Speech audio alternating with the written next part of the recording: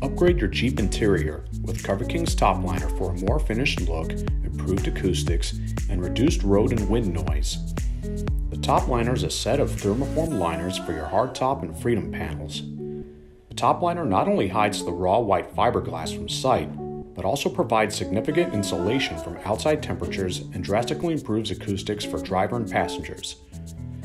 Top liner arrives ready to install with the included 3M die cut adhesive mounts and toolkit. Enjoy a more finished and comfortable Jeep today with the Top Liner by Coverking.